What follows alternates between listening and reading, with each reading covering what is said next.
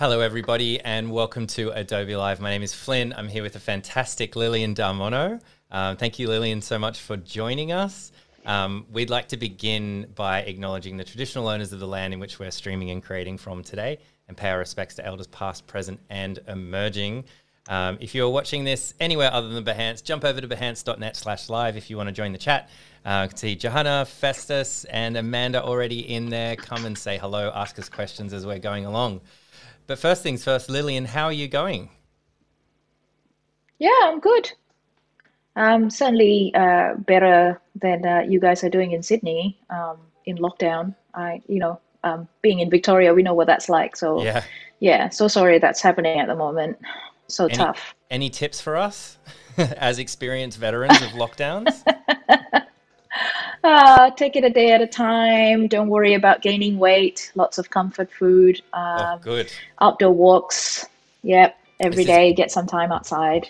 This is good. This is good advice. I'm glad it wasn't. You know, fix fix those things around the house that you've been meaning to do, or do that extra project. No. It's all about taking a step back and just looking after yourself, which is good. And I appreciate the food comment because yes, um, I have I have that staying at home bod um, for sure at the moment. Yep. Yep. Support your local business. Order a lot of takeaways. Don't cook. Um, cakes. Anything nice and treatsy.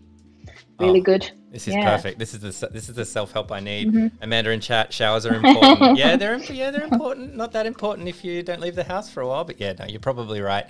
Um, so yeah, it's um, it's it's great to be here with with with you all. Um, so this is Tuesday here in in Australia, and we're going to be streaming today on Tuesday with Lilian, and also on Thursday. So make make sure you come back for that. Um, but Lilian, art director and illustrator. Um, I have some of your work up um, that maybe we could show for those that aren't familiar with your work, and maybe you could give us a bit of a the elevator pitch of, of what you get up to and what makes you tick in your work. So I'll, I'll, I'll share that now. Um, but yeah, what do you what what's a day in the life for you? Um, usually, uh, when there is client work, I get into uh, the office, the studio space. Now that we're allowed to work from studio spaces again here in Melbourne, get in and then start doing client work uh, straight away, which can be anytime from you know 9:30 to 10 a.m. after dropping off my little one at daycare. Uh, which is going to be a, a different ball game again next year when he starts school. And then my day is typically uh, quite short, so it will end at about uh, 3.30 or 3.45 pick up the little Pick one from time. daycare when it's my turn to pick up yeah four o'clock um, but then to make up for the time the hours that i don't do in front of the computer at the office uh, i do a little bit of work at home either on the um, ipad or on the uh, you know lap- laptop i have two different Cintiqs one at the studio one at home um, sometimes i do a little bit of work in the spare room at home. So, you know, just because it's broken up because of um, parenting commitments, it doesn't mean that uh, people with kids um, do less work than people without kids. Um, so, Yeah. yeah, uh, in terms of my work, I I am known for my character designs. So most of the time, when people come to me, uh, lately it's been two things. One is characters to lend a little bit of personality and warmth to their brand but also the other side of it is usually to interpret um, complicated abstract concepts of corporate speak into images that are relatable, like that picture that you see um, in the middle of the screen there, right next to Ariel, between Ariel and Charlie in the Chocolate Factory. So that's from a recent project for a finance mortgage company in the US called Blend. And they have these t- 10 different core values of the company. And they're all quite abstract in a sense that they, they're all about um, how the company treats its people and their principles. Like this one is valuing input over outcome. Uh, another one is, uh, you know, longevity, and con- this is continued cons- consumer growth. Um, so you know, it's they they were drawn to things that are less figurative, so they prefer everything to be abstract, but still kind of warm and exciting. And that's when I come in to interpret them, you know, the, the basically words uh, or paragraphs into an illustration that all the stakeholders can look at and the consumers can look at and feel, oh yes, that that represents that particular value in Right. uh, their corporate guidebook. So yeah, um, quite quite different uh, ball game than making character designs. which Yeah. typically end up in apps or animation. Right. Yeah. Yeah. Yeah. Wow. I can still see that offset style um, that I that I saw a year ago. I think when we when when we were um, doing some char- character illustration here on Adobe Live and um, the line work outside, like kind of being being offset. So I love that it's still got that Yeah. alien flavor. Um, super, Yeah. super interesting and kind of you know ex- expanded perspectives, like the way that this kind of flows in has that energy flowing towards the central focal point. It's very very interesting. Yeah, that's interesting actually that you pointed that out because um, some art directors and creative directors have come to me specifically for that particular offset look. You know, that, that comes up in meetings saying that, oh, we really enjoy how the line work does not match the solid fill and we want a little bit of that. And um, they're also drawn to the expressive quality of the lines. So um, those two things are something that just sort of like I really enjoy creating. So it's good, I guess, to get paid to do exactly the thing that your body wants to do. yeah, yeah. absolutely. Well, then, should we chat about the character? Maybe pick a character one to chat about. Um, maybe one of these Um, ones. Maybe that one with um yeah a- any of those really, but the one with a lot of faces. Oh, this That's one here. that's yeah. just uh, sort of like yeah, that's um an experimentation of how I can make personal art that then will translate into my paid work. Um, trying to come up with a character style that is a bit more ownable. It's always a little bit of a tricky balance, I guess, when it comes to the type of work that I do, because most of the time people come to me wanting a certain character that is anonymous enough so that it doesn't call for attention to itself, but rather support the brand that they want to, um, Mm. you know, kind of the brand impression that they want customers to really get from the visual products. But at the same time, it's like if it's anonymous and it looks like something that can be purchased from a stock library, then why would people come to me? Mm. So it's always a bit of a, a tricky balance. You know, this is something that I I constantly talk about with the um, the producers at Jacky Winter, especially Jeremy, the founder, um, talking about because you know as as a leader of an illustration agency, he really has his ear on the ground in terms of trends and what people are drawn to. So I'm always asking for his advice and you know for his opinion. Where should I push the characters into? Like what sort of territory? What sort of areas can I should I explore? And the thing about the relationship I have uh, with them or with him is that I I have to take whatever he says with a grain of salt as well because and he he that's what that's exactly what he wants me to do because he he encourages every artist to have their own journey to have their own uh, goal in mind. And you know he in ultimately he's an external person and all he does is kind of gently guide us. And he doesn't he's not fully aware of everything that's going on in Right. our um, personal artistic development. So yeah it's it's it's a very enjoyable relationship because he doesn't dictate he doesn't you know he's, Right. he's not dictatorial in terms of like what I, you know he, i want you to do this and this and this but it's always good to get his opinion and feedback in terms of these things because he knows what's going on out there Yeah. so yeah so this is an example of me trying to come up with a, a style that is ownable when it comes to the facial features Oh, that's that's great. Super great to hear. Yeah. Love Jeremy Wortsman, and Jeremy for a long time. Um, okay, cool. Well, um, I think in store for us today, because you're talking about you have a Cintiq at the office, uh, you have a Cintiq at home as well, and you illustrate on the iPad. Pretty much use every app. You're like you use pretty much everything. but today, um, today we're going to be playing around with Fresco, I think, um, which we have cleverly already connected. Um, and so we're all good to go. So we can actually see. it's like we planned it. Um, so obviously Yeah. we can see some of your, your previous illustra- illustrations and sketches and stuff. But what do you primarily use Fresco for in your process?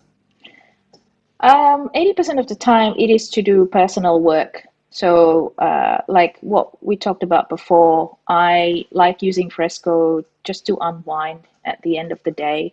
um, sitting in bed.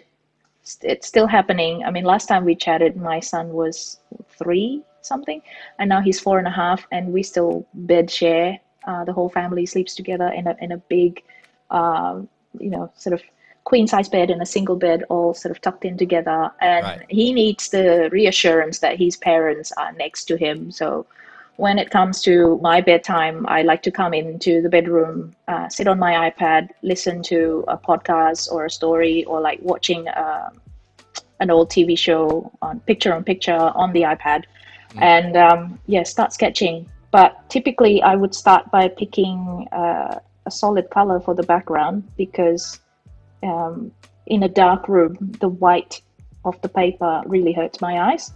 So this is what I would do: is I would pick a random color. Is that the only um, reason, or do you prefer to have a background to start from for other reasons?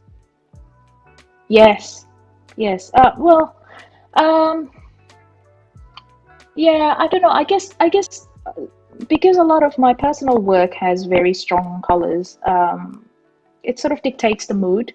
Mm. So I tend to pick the color of the background first to sort of like set the mood of what I want the this this illustration to be like and then for my personal work, I always use the vector brush instead of the um, the pixel brush.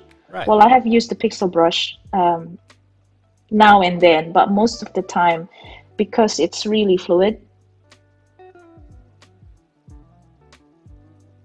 and I just get a lot of pleasure from drawing um, lines like this because of the consistent quality of the lines, the smoothness of it, you know. Um, and I would start with zero idea in my head of what I want to make. Uh, and sometimes it takes a few different tries of what is it that I, I want to draw to come up with the actual artwork. So yeah. And so do you just you just start drawing? Yep. Yep. With no clear idea of what I want to make at all um, because that's so is... brave. That's so brave to hear.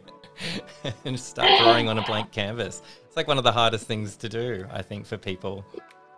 Yeah, yeah, but I, I mean, this is why these these um, things are created. You know, digital apps with the undo button. Like, if I don't like that. I'll just go clear layer, and it's gone. Yeah. And I'll start again. You know, so there's no fear of you know leaving something there that will you know stay there forever even though you don't like it so you know you start again and you start again and you start again um, I'm going to keep asking my questions, but also chat if you have, yeah, go for it. questions as we're going as well. Throw them in chat again. If you're just joining us, um, jump over to behance.net slash live, and that's the chat that we'll be using today. Feel free to throw your questions in. Um, yeah. Um, do you find that you're quite ruthless with um, your earlier kind of sketches, or do you get to a point where you attempt to try to salvage? Like how how do you find that that process? Because you you just deleted something that was better than anything I've ever drawn. and I think I would have at um, least kept it in an archive somewhere, but you just went, nah, see you later. Yeah, I, I, am quite ruthless because this is this is my personal time. So if I don't like something, it's like ordering um, a cake at a restaurant. You know, if you don't like something, why persist, right? right. I mean, this is this is free. The cake at the restaurant you got to pay for. um, so you know, and don't waste food. And this is free. You just delete it, and then. But if I mean, it depends. Like here, I'm trying to create a nice shape for the hand because I've arrived at something that I think you know it's it's worth salvaging. So here I am salvaging. So having said the ruthless bit. Now it's the other bit of like trying to salvage, um, drawing drawing the right bits to yeah. make the composition work. So now we're using the eraser more rather than just deleting the whole layer. Right. Or clearing the whole layer. Um, Amanda in chat says, I get so conflicted with which app to use because uh, there's so many. I wish I would just choose one. Yeah. Do you have any kind mm. of? I mean, we we spoke that you pretty much use everything. Um, but yeah, how do you choose which app to use? Uh, by trying it, and then I, I'm actually I'm quite I'm quite um, weak when it comes to app. Like if I don't like something, I'll just switch to something else. Yeah. Um, which was what happened with Procreate, sadly. I mean, I, I feel really bad saying this because it is an Australian um, app developed by Australian, and um, but it, it, I don't know for some reason my brain just does not click with it. Um, right. And when it came out and a lot of artists are using it, I felt a, a huge deal of FOMO. Um, and you know, I tried to use it over and over again, but for some reason, I just I just can't I can't get into it. So um, one day, randomly, I saw Kyle Kyle uh, Webster, the brush maker, um, shared his early um, experimentations with Fresco, and I'm like, "What is Fresco? Oh, it's uh, Adobe, and I already have a subscription, so I thought I'll give it a try, see what happens." And then, yeah, it sort of stuck. But I mean, outside of this, I've also tried different things that are um, non-Adobe products for different um, purposes and I guess it's kind of where you really appreciate the interface design when it comes to apps and how friendly they are, mm. where the brushes are located, what happens with, um, you know, like you, you have a certain instincts as an artist. And I guess that's um, what the app developers are trying to work um, off. And uh, yeah, the, the ones that tend to gel with me are the ones where I don't really have to fight my instincts too much and kind of know, you know, like okay, logically this this brush would be there, this tool will be mm. at a different location. You know, I don't know. It's it's I guess it's so personal. So my answer would be to just try and um, see what you like the most. Yeah. Yeah, I think that's I think that's I think that's really important. Um, it is really nice when you're using an app or you know some you know web app or an app on your phone or something, and everything's where you think it should be. Like the menu items yeah, yeah. are where it should be, and you just for whatever reason you find using it, there's no friction there, and then you, sometimes you don't even realize until you know you use something else and you get really frustrated and you think, why is this why are there three hamburger menus here and everything's hidden and yeah yeah lots of times because so. even like the location of certain things where where it is in the app that you know your brain by now if you are a person that uses uh, a bunch of digital um, products your brain already associates the top right right hand corner with certain things versus the top left hand corner or the bottom left hand corner um, and when apps don't pay attention to that you just get really frustrated And yeah, so those things really matter. Absolutely. And and back to the artwork, are you using any particular brush for this or because it's quite flat? Um, and you mentioned you were using the vector brushes, so is it just yeah, just kind of standard taper? Yeah, it's just or? a standard basic round. Basic round. Uh, yeah. There's no taper because I I prefer the line work to not have any uh, tapering whatsoever mm. for this type of stuff that I do. I mean, this this is just me mucking around. This is me having fun. So um, obviously, different different things uh, call for different sort of line quality. But this is just me having fun. Do you ever do tapered tapered lines in in in any of your work, or or do you prefer to have? Because um, I know a lot of your work is vector, so you need to fill those lines. You need to create those shapes to fill them in? Uh, actually, I very rarely do mm. tapered lines these days. Uh, the recent commission with the Little Mermaid, um, that was different because that was the first time I've had to use tapered vector lines to kind of be within the official Disney style guide. And uh, yeah, that was like that was interesting because I haven't used tapered lines in a long time, and I'm like, oh, there it is. You got to use the tapered tool in Illustrator, and you're like, ah, right, uh, I remember what that's for. That's that's a great segue because that Disney piece that you're talking about, which I think is the, the most recent post on your Instagram, which we shared before, um, Tara from chat yeah. has asked, uh, well said, loved seeing your Disney piece. May I ask which app you used to make it? So yeah, could you tell us a little bit more about that Disney piece?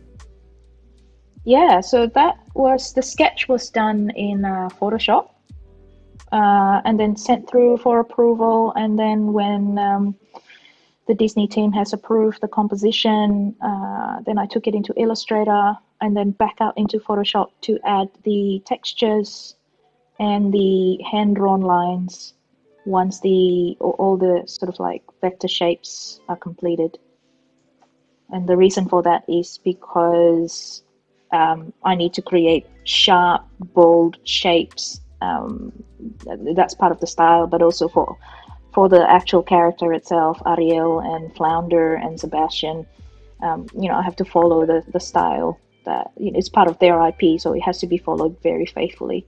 Mm. Um, and that dictates clean, sharp lines. Um, so that's why I used um, Illustrator for that. But then the fun part comes with uh, texturing and shading and uh, filling in line works in um, different parts of the composition.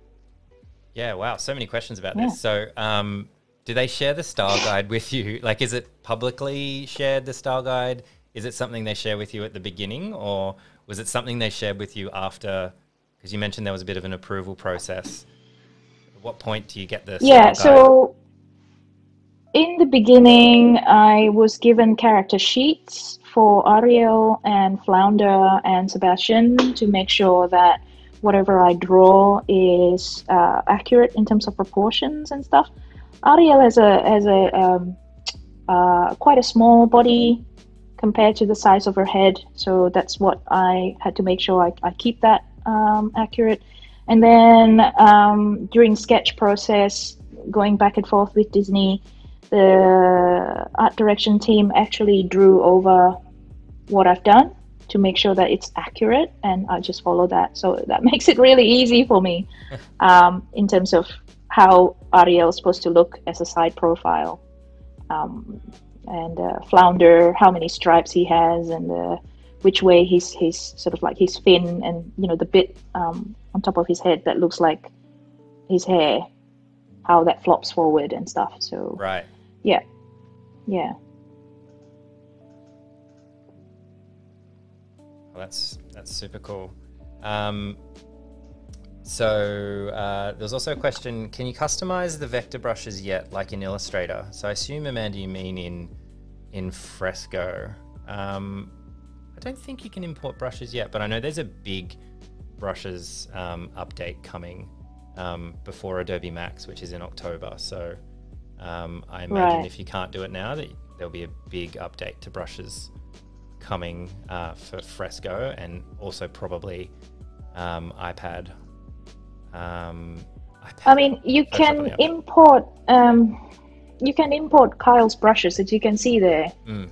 I've imported Kyle's brushes into the into the Pixel Brush library, but I because I personally I don't uh, muck around with the vector brushes that's available. So I, I don't know.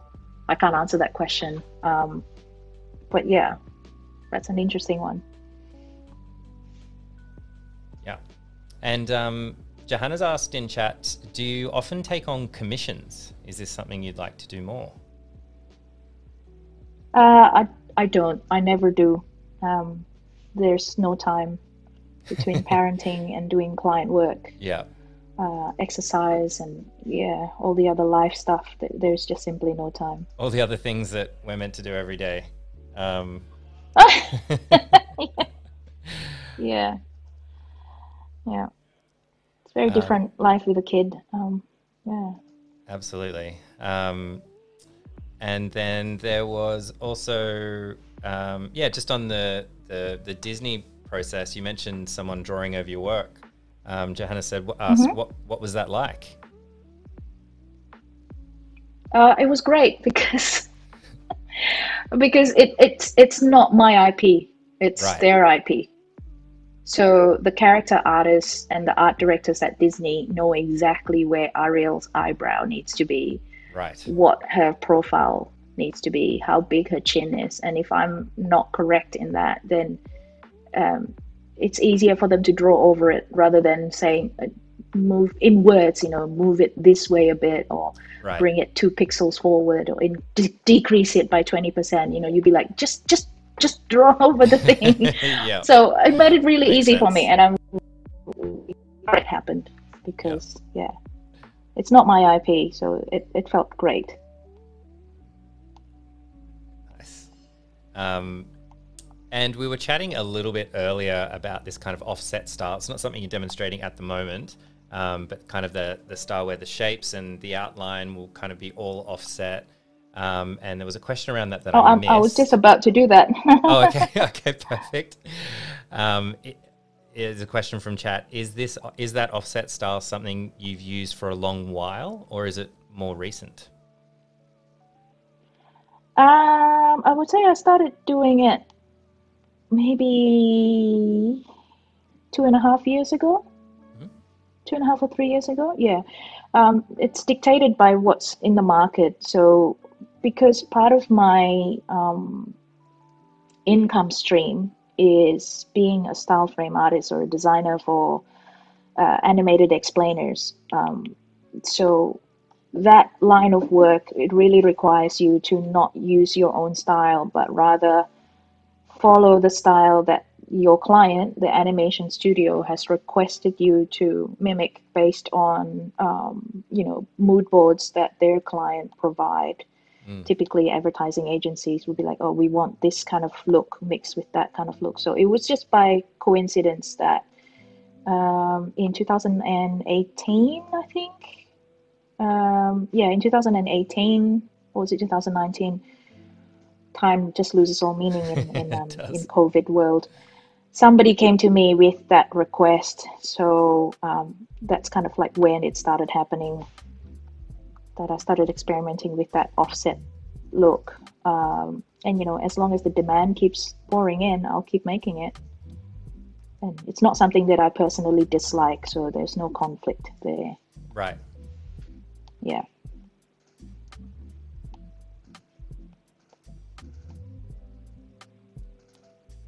Very cool. And just a reminder, um, you can ask questions um, in the chat. So if you want to throw them in, um, please do. Um, what is time? I think is a question from chat. I assume that's rhetorical, but yeah. Um, what is time these days? the construct. it's a construct. Yeah. It's a construct. And how do you find balancing personal projects with with your client work? I mean, you mentioned that it's something you tend to do in the evening, but do you ever find that you do you, you feel oh, I've done a little bit too much personal work. I really need to focus more on the client work at the moment, or vice versa? Yeah, um, I just kind of listen to my body a little bit. Um, the hand wants to do what it does, you know. Uh, usually it's the other way around. If I've been really busy because uh, most of my personal work and client work are digital because of lack of time. You know, ideally, I would like to have a big um, artist studio where I can create huge, huge canvases, but that's not possible. Mm. Um, but you know, if I've been doing a lot of digital stuff, my body would crave the touch of paper and paint, and then I would try and set aside some time. Uh, next time there's a break between schedules between things, then I would paint something either in watercolor or acrylic just to have fun. Yeah. Yeah. Cool. Uh, we've got a question, a lot of questions about style and stuff here. So if you're happy for me to keep keep going along. Mm-hmm. Um, yeah, yeah. So Johanna's asked a great question. When it comes to getting style direction tips based on what's in the market, how do you maintain your mm-hmm. own style against that? Or is it something you completely let go of? Uh, I let go of my own personal style because in the end, that's why I get paid. Yeah. Um, because I'm the style doctor. I'm getting style paid doctor. to solve people's. yeah, I'm getting paid to solve people's problems, mm. not to impose my own personal um, agenda mm. on the output. There's always time and place for everything, you know. Um, usually in my work, the only time I, I, I, I kind of battle, you know, like fight against what the client wants is when they push for something that I know does not ultimately does not meet their communication objective. Right. Like by having too many colors or too few colors or you know, occasionally they say, please don't put a person with a hijabi a, a hijabi in this composition, they'll be like, oh, blah, blah, diversity. You gotta, like, you, you know, like sometimes people just get really uncomfortable about inclusion of um, minority groups. And mm. that's when I, I try and fight against that. But when it comes to style, it's just, yeah, they pay me to make something work based on their um, mood boards. And that's what I do. Yep, that's great and obviously you have you have your own personal work to to push you know experiment and play and and kind of experiment yeah experiment with new styles and put a lot of that work out. And you've mentioned before that that personal work has like led to client work anyway right? So it's kind of yeah. Cool. Also i, I feel like the other thing that people don't talk about a lot is um, the fact that once I think as artists, you you get told that keep making personal art, and someday somebody will like it enough and pay you for it. Mm. We don't get warned that when that happens, a little bit of that pleasure of making personal work disappears. Right. So, like, if you do a style really well and people come to you for that style, you'll end up making quite decent money for maybe years at a time. That's fine. That's great. You know, you pay your bills or whatnot. But as as long as somebody else holds the purse string, you will never be hundred percent satisfied. And that's what something that it's, it's something that I've learned um, over time now that I'm older, I realize that that's that's actually what's happening.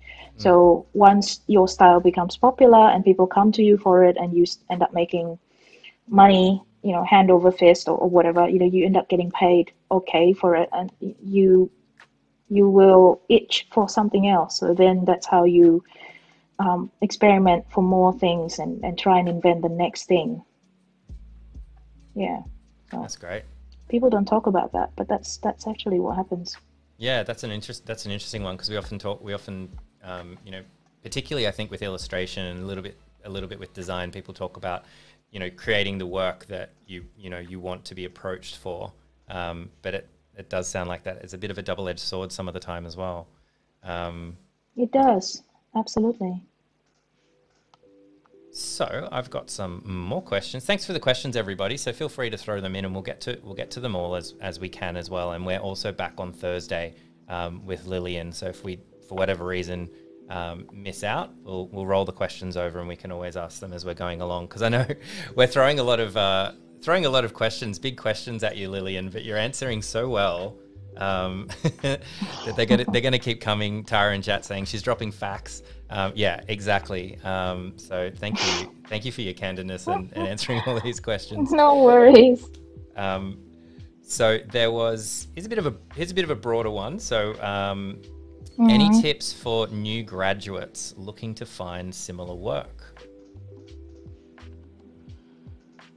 Um, oh, that's a hard one. Um, I guess easy to ask, hard to answer. If you are a yeah, if you're a fresh graduate, I think one thing that is really important to to learn is how to work well in a professional environment with other people. So that's really important. So my tip would be, if possible, um, a full-time job or like a, a staff employment where you get to be with other designers and artists is valuable um, because it will be an important basis for you to you know to forge your own freelance career someday down the track if that's what you want to do. Mm. um, a lot of what i know like things that clients come to me for i would like to think you know it's my, my professionalism my work ethic whatnot yada yada blah blah. You can't learn that in school. You have to learn that on the job and that's really valuable but also at the same time you got to make sure that the first full-time job that you take up is with good people that appreciate you. Because when you come out from school you're very young and you're very tender and you need to be with people that teaches you how to value yourself. And i was lucky enough that that's what happened to me because that gave me the basis of um, you know, having the confidence to argue for a pay rise in my second full time job, mm. having the confidence to to say no to being asked to do overtime unpaid because I know how to prioritize my health uh, and so on and so forth. So that's really really important. And um, you know, while you have your full time job, you know you, you don't have to worry about paying um, bills or paying your HECS or a student loan or whatnot do art do your own personal art on the side because no matter where you are in your career that that will never stop i think if you're serious about your craft. Even when you're old you know you would always be doing your personal art on the side. Um, and i think having that separation between how you make money and how you feed your artistic soul is really healthy. Uh, like i said before like once somebody else is paying the bills it doesn't quite satisfy as much um, but yeah, you know, and, and just be patient, take time and look after yourself, and your health is really important. So I would say that fresh graduates should not try and burn the midnight oil and, and have a good balance between um, life and health and and work. Um, and then time will pass. Uh, stay, you know, stay in contact with your colleagues. Uh, be a decent person, be a good person, and then eventually you know things will work out if you keep if you keep working hard and you know keep asking for opportunities and uh, yeah. Some that's some great advice fresh graduates. where you end up is really important. You got to make sure you with good people that look after you. Mm, yeah I actually remember that from the first job that I got out as a graphic designer um, and it was it was just an internship yeah. that ended up leading to some full-time work but um, when I ended up leaving there they said make sure you work somewhere really good at the beginning. It's kind of he he was a soccer fan, so he he compared it to like working for the best. You know, try to play with the best soccer team because then you'll always it'll raise you above. Um, and I think mm-hmm. um, I didn't end up getting that, but I think it was good advice. Yeah, I mean, um, I think there are a lot of big name studios or big name companies that sort of um, throw their weight around a little bit and they don't necessarily treat their employees especially the young ones the fresh graduates mm. um, nicely. So you got to watch out for that. Um, you know don't don't go after fame and reputation. Uh, like by all means if you need to you say oh if you work for this this big name company um, you know it's going to be really great for your resume. Sure um, go in fully aware that that's what you're doing it for, but also kind of know where your limits are and mm. make sure you always maintain a decent amount of self-respect and you know self-care. And if they don't treat you well just leave. Yeah. You know um, it's it's really important because yeah I'm, I'm not saying don't don't do it don't go in for the big companies but don't sacrifice everything else for the sake of uh, a famous name on your resume. Never right. do that.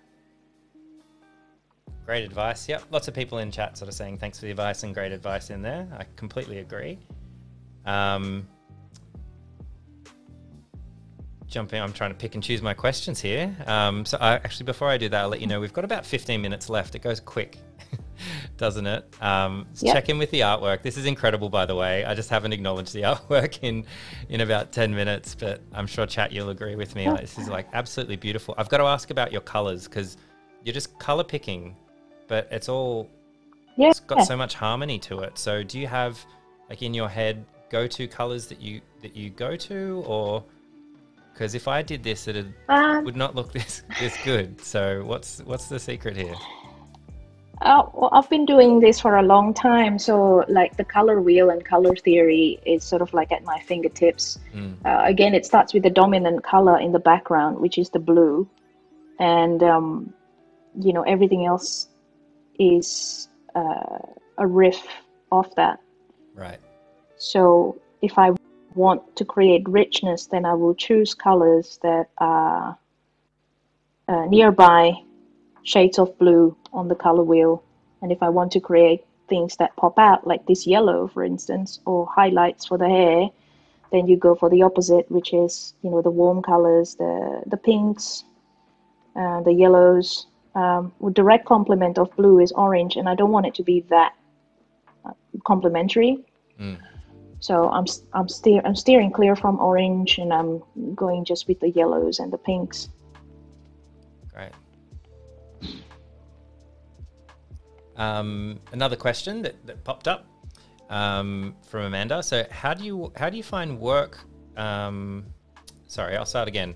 How do you find work designing for animations? Do people mostly approach you, or do you work with an agency or similar?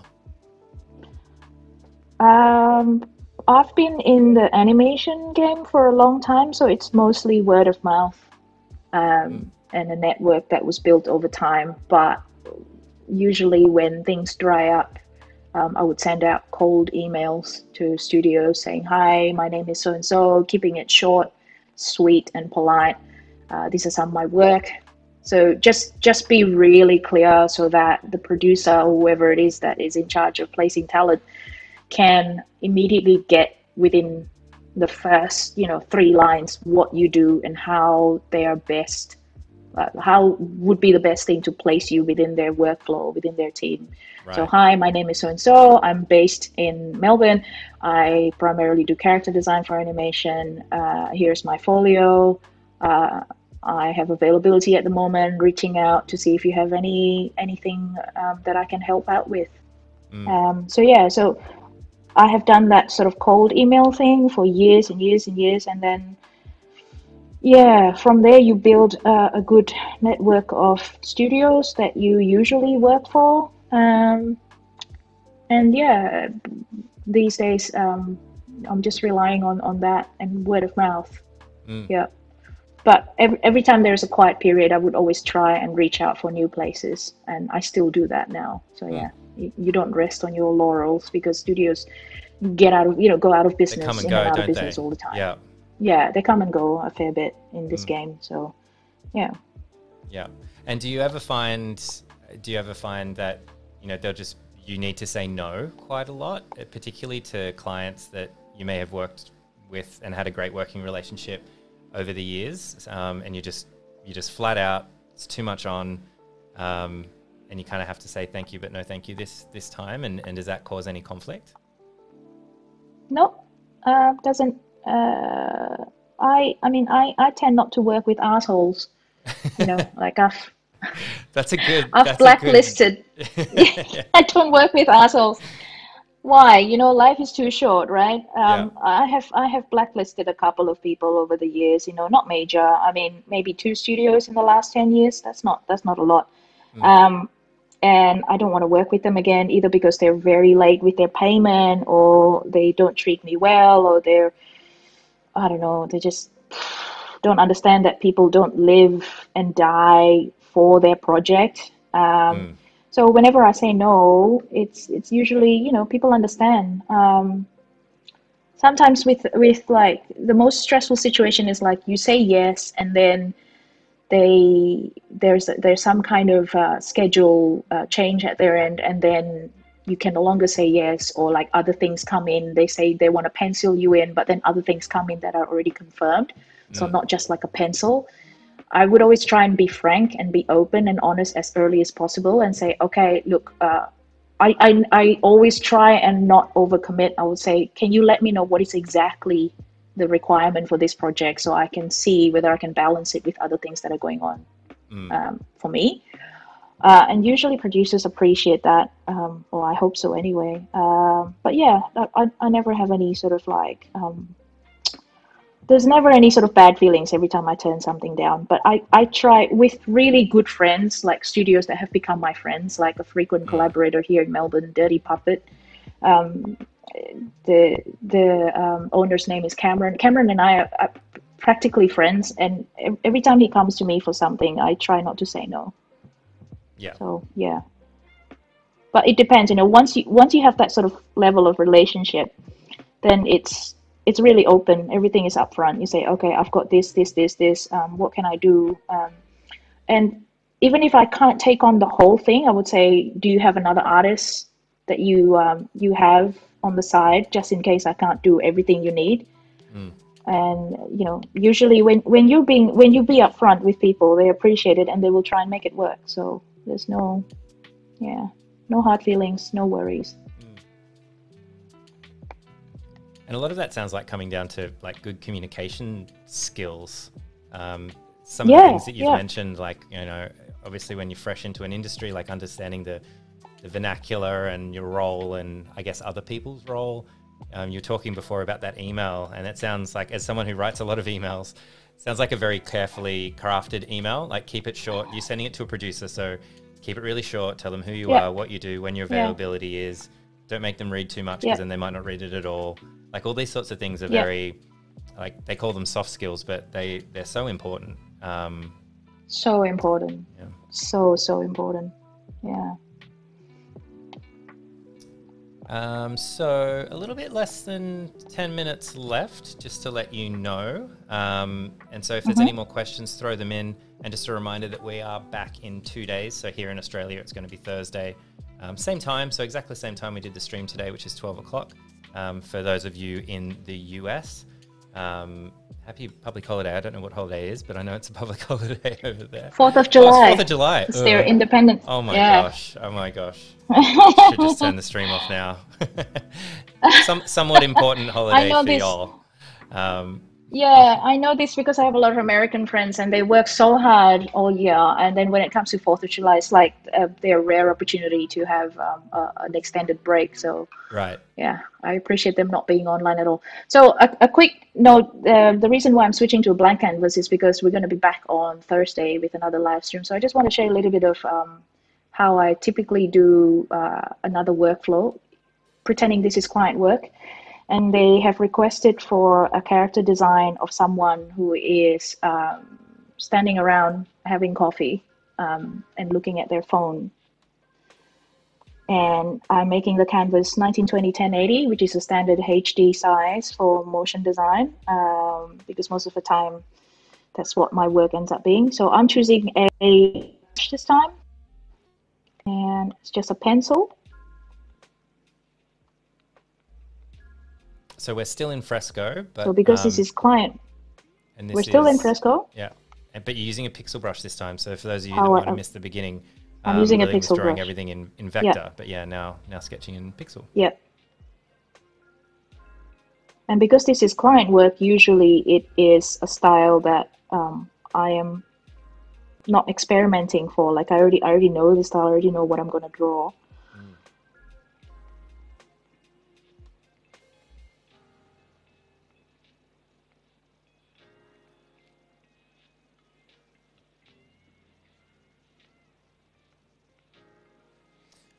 Um, yeah, happy Fourth of July, everybody. Sorry for forgetting such an important Happy important. Fourth of July, everybody! Um, Hope you're all enjoying COVID normal and the warm weather. Mm, absolutely. And um, I had two more questions here. Maybe we can get to. We'll try one if you're up for it, Lilian. Um, Yep, go for it. or what do you look for for your own creative inspiration and influence?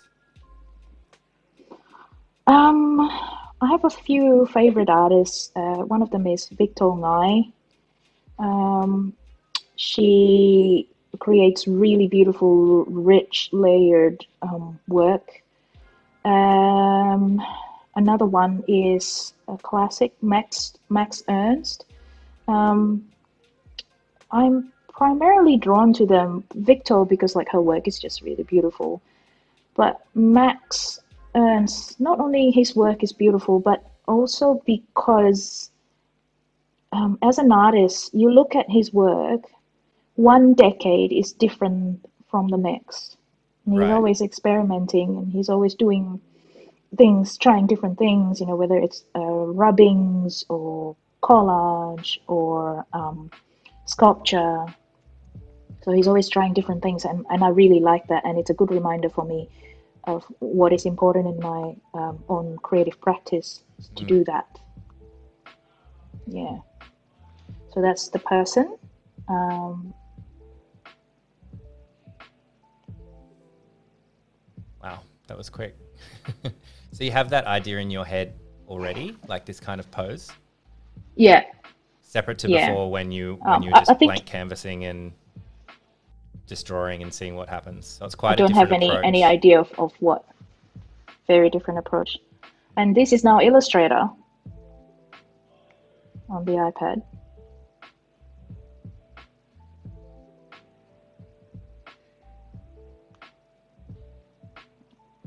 And then I can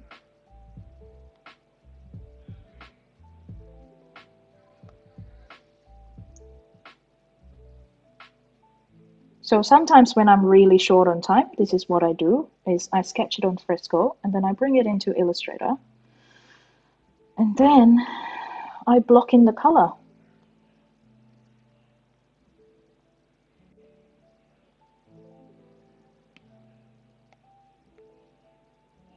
Right. And so, and you're just using the pencil tool for that? Correct, yeah.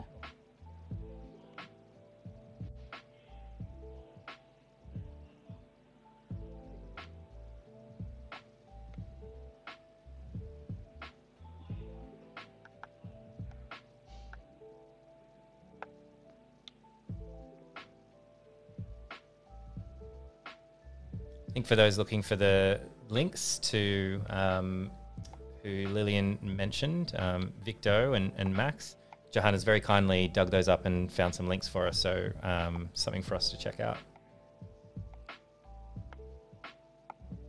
This is um, because I mean Illustrator on the iPad is relatively new. You, so you can see what I'm trying to do is I'm trying to bring this object up to the front stack, and that doesn't work. So it's one of those things that are still buggy within the app. So not to worry, I'll just keep going. It doesn't matter what's front or back, and I can always fix it on the desktop, which is what we will do on Thursday. Cool. Amanda's asking, um, was that copy paste from Fresco to Illustrator, or did you save the image and then bring it in? I saved the image and then brought it in here.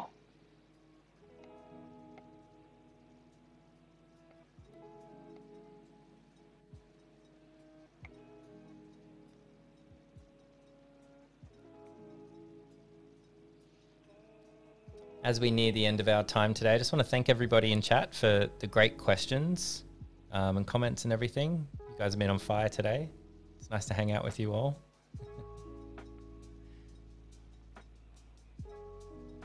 Just reading through some of the comments now. Um, catching up because there's been quite a few. So you can see I'm just roughly color blocking it and then tidying up the objects and then making sure they're in the right stack and stuff will come mm. on the desktop version, which is the fastest way to do this. Sometimes when I'm really short on time, this is what I have to do. Because this I can do um, sitting around in uh, the kid. Yeah. At bedtime. Did we mention that I still bed share with my four and a half year old? You did. Does he ever go to grab your iPad? That's that's my thing with my kid. She just she just wants to touch whatever I have. So if I have my phone or my iPad sitting on my lap, she oh, yeah. she wants it. Yeah. Oh well, he he would be asleep, so I can only do this when he's asleep. Only when he's asleep. Okay. yeah, but he he yeah, but he does. He'll be like, uh, "Can you show me Superman flying on your iPad?" I'm like, "No, no, give that back to me. Nope, that's for my work. Nope. He would he would try and play with this. He he think that this this makes a great plane, and he wants to throw it across the room. I'm oh, like, no. nope. That's an expensive. Yeah. Drop that. yeah. Nope. yeah, yeah, that's an expensive plane. Um, we yeah. may need to leave to it here. We've got about shouting. We've got about a minute left until the, the stream will cut us off, so we might need to leave it here, or, or we'll we won't be able to have enough time to say our goodbyes.